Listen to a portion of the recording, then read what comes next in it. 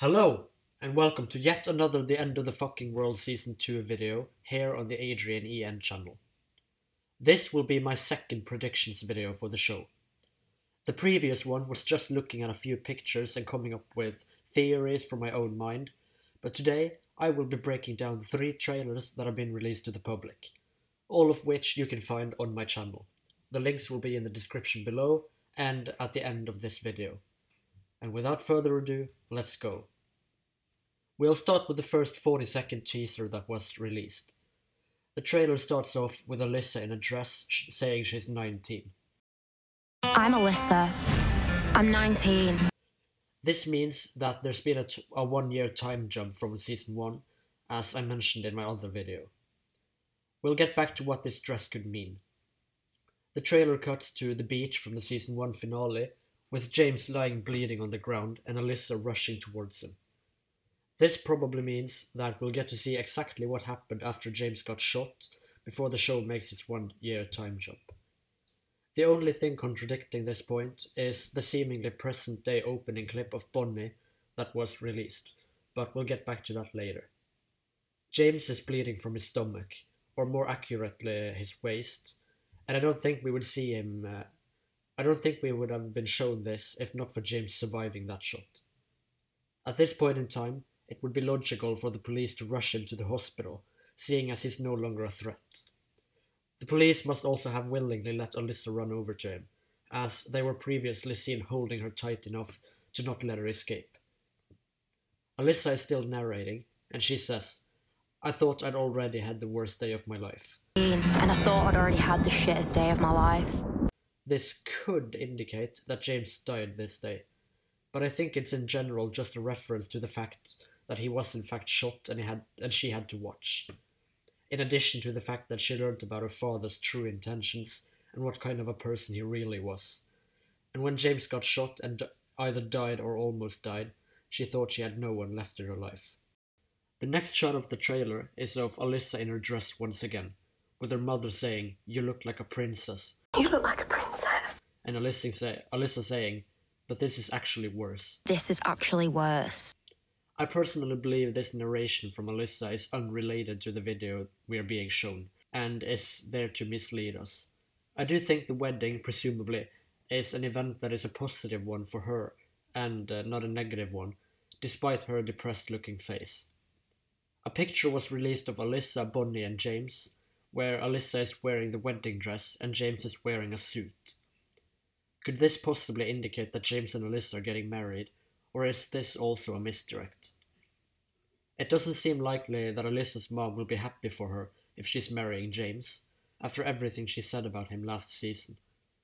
At first I thought maybe Alyssa's mom and Tony were getting married, but I think they already are married. Following this, we are shown a cafe out in the woods with one car pulling up and one already parked. If you look closely, you can see a woman with black hair washing the, the already parked car. The car that's driving towards the cafe could be Alyssa's family's car.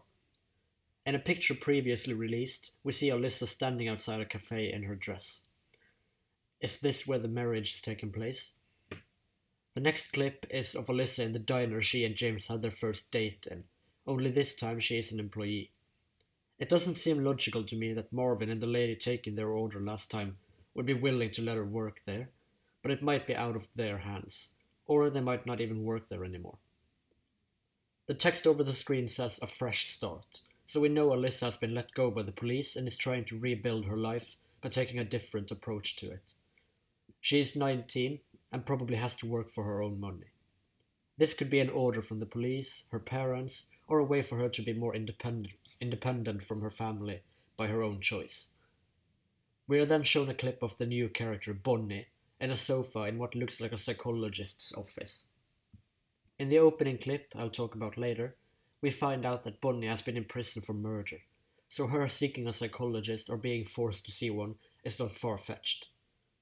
In this clip, a dark skinned woman places a bullet on the table in front of her, asking, Where'd you get this? I learnt about punishment from a young age. Where'd you get this? I would think that's the bullet James was shot with. Bonnie is narrating and says, I learned about punishment from a young age. I learned it happens because of love. I learned about punishment from a young age. I learned it happens because of love. The possible psychologist also says something else, but I haven't been quite been able to understand what she's saying. It. If you understand, please let me know down in the comments below. After all this, we're shown Bonnie in her car looking at a picture of Alyssa, with the text on the screen saying, A Vendetta. If you didn't know already, a vendetta is a blood feud in which the family of a murdered person seeks vengeance on the murderer or the murderer's family. The only person we know James and Alyssa killed was Clive Koch, so logistically it makes sense for Bo- it makes sense for Bonnie to be in some way, shape, or form related to him. A vendetta can also be a long lasting feud between two families, or simply an act of vengeance in general. It doesn't have to involve murder. Alyssa has done something to someone, possibly Topher, Frodo, Leslie, or anyone else she met on her journey, and Bonnie is seeking revenge on her. The bullet that was previously shown to us has been sent through the post by Bonnie and has been received by Alyssa with her name on it, spelled incorrectly, of course.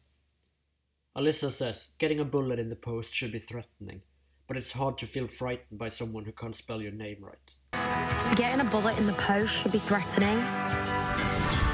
But it's hard to feel frightened of someone who can't spell your name right. We are then shown more clips of her in the dress with her mom. She seems unhappy with it at first, but after a couple flashbacks of her with James, she seems less disinterested in it. Could this possibly be a sign that she's getting married to or having some sort of memorial for James? Bonnie then bursts out of, out of the car with a gun in her hand, walks up to a house, knocks on the door, and asks if Alyssa is home. She's ready to kill her. Alyssa? Next up, let's talk about the very short clip that was released by the Latin Netflix page. This clip starts off with Alyssa walking away from a hut in the woods. At first, I thought this was the previously mentioned cafe, but if you look closely, you can quite clearly see that it's not the same building.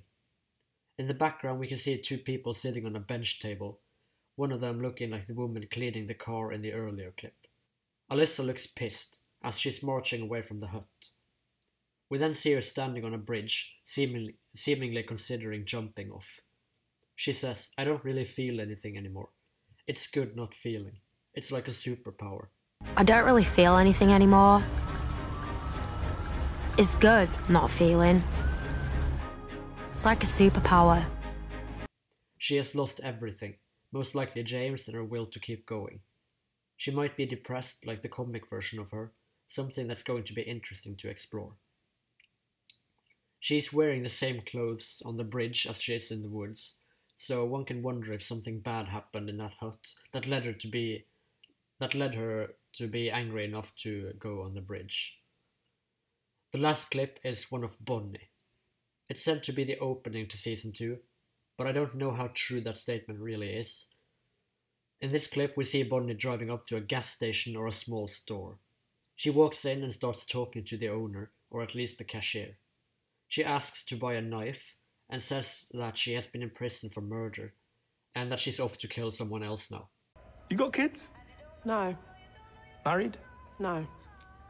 So what have you been doing? Prison. All right. Why were you? Uh, what did What did you do? I killed someone. I'm gonna go kill someone else now. We know that uh, that is Alyssa. She then walks back out to her car and opens and opens the glove compartment, where we see a book and a pistol. She pulls out the book, opens it, and looks at a picture of Alyssa. Once again, we know she's out to kill her. The official Instagram page of The End of the Fucking World has released a picture of a prison. At first, I thought that's where James is being held, and it still very well could be, but it could also be where Bonnie had previously been held for her crimes. Finally, I want to very quickly touch on the image of Alyssa, Bonnie, and James with the urn. Bonnie has her hand clenched and, and looks ready for a fight. Alyssa is in her dress, and James is wearing a suit holding the, while holding the urn in his hand. Previously, we all thought this urn was James's ashes, but now it's safe to assume it's someone else's. Another image shows some broken toys on the floor and says, But we were such a happy family. Could this indicate that perhaps Tony has something, done something bad towards Alyssa, and her mom stepped in to help, leading to Tony murdering her. It may be a far-fetched hypothesis, but I think the urn could be either be a literal could either be the literal ashes of someone close to Alyssa, Bonnie, or James, or it could be a representation of a broken family that can never be returned to the way it was. Some people think James will be a ghost in the second season, but I just find that stupid as hell, and if it happens, I definitely won't be watching season 2. Hope you all enjoyed this video. If you did, make sure you leave a like and subscribe, and join my Discord server. It's linked below. There you can talk directly to me and my friends about this show, and all, all other kinds of movies, series, or games. Bye bye.